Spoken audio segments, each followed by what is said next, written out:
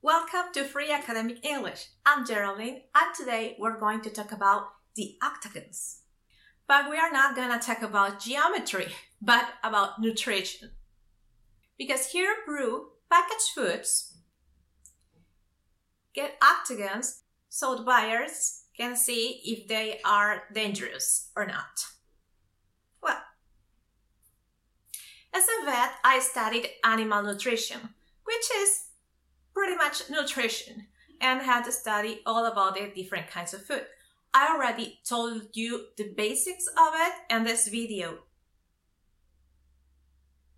Because this is chemistry, pure chemistry, beautiful chemistry, biochemistry, and biology.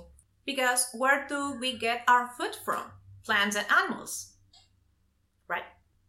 So what happens is that they have these octagons and they say high in sugar, high in saturated fats, high in trans fats, and high in sodium.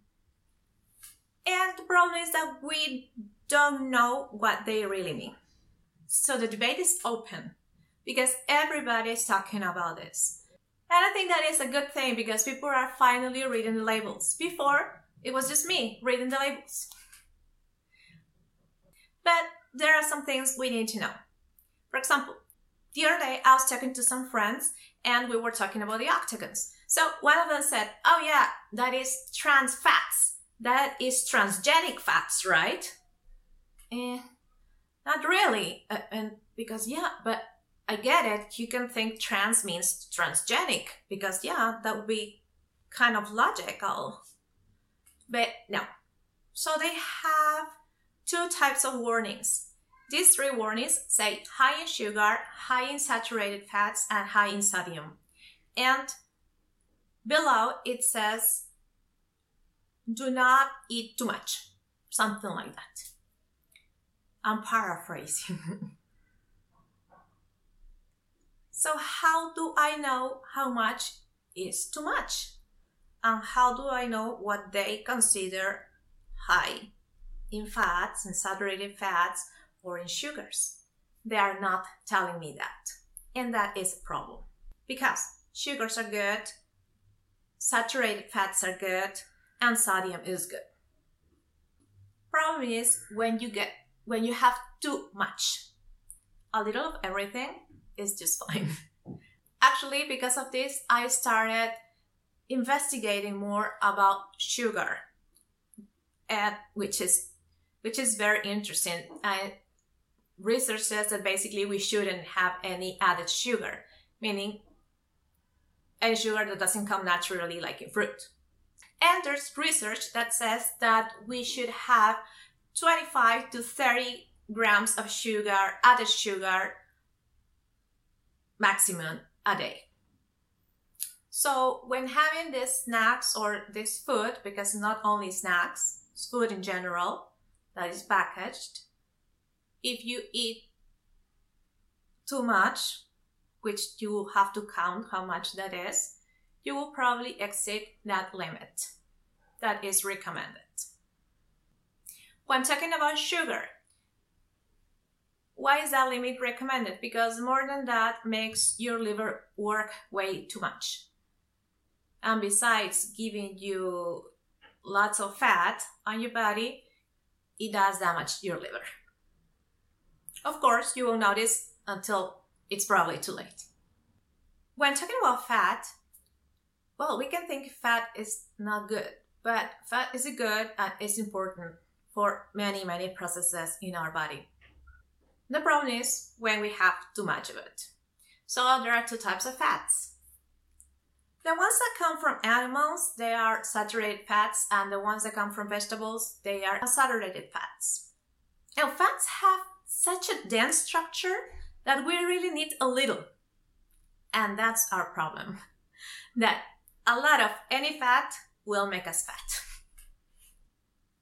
But if we have saturated fats, uh, have in addition to making us fat, you get high risk of high, heart attack and all those things.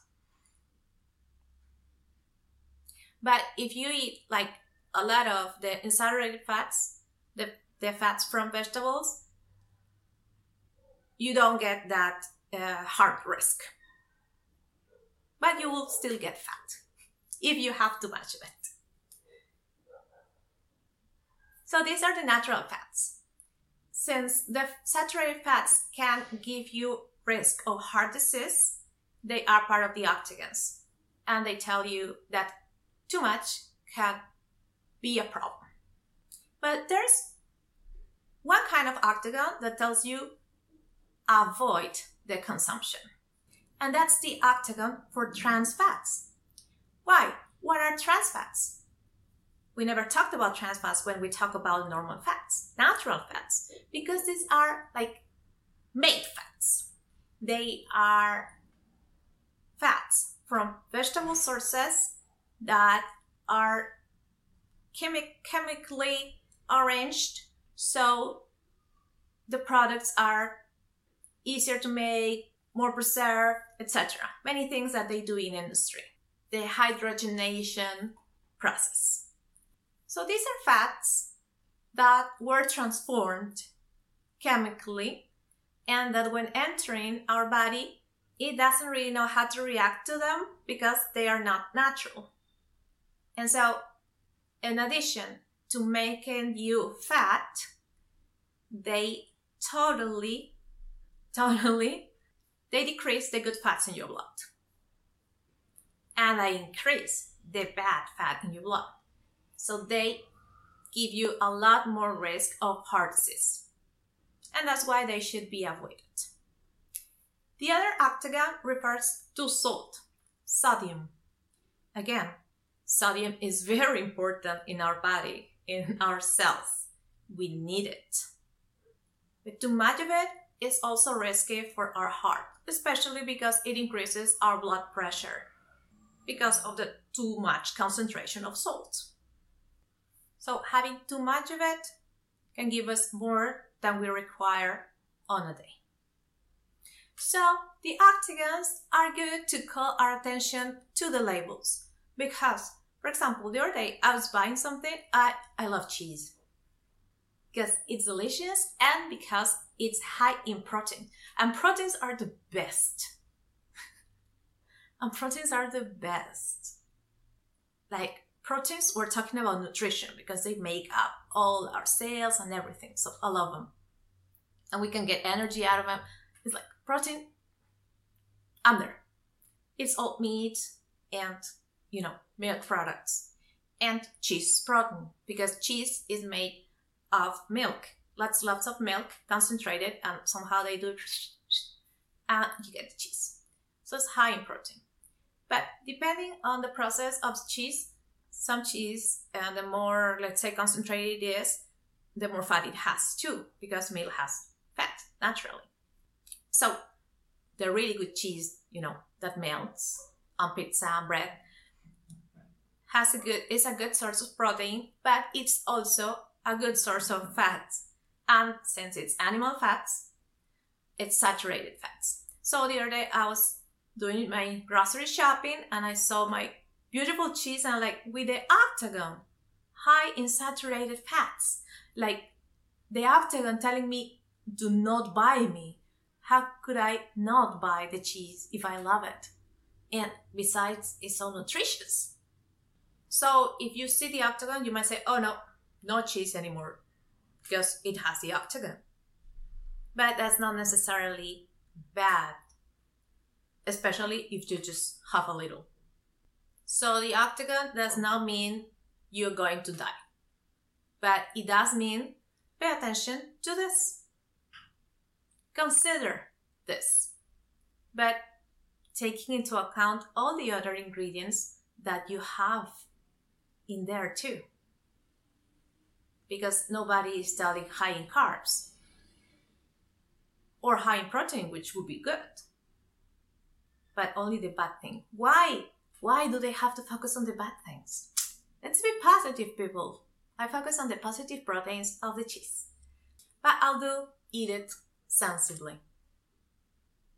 Tonight, when I have pizza. Thank you for watching. Please comment, share, subscribe to the channel, and I hope to see you soon.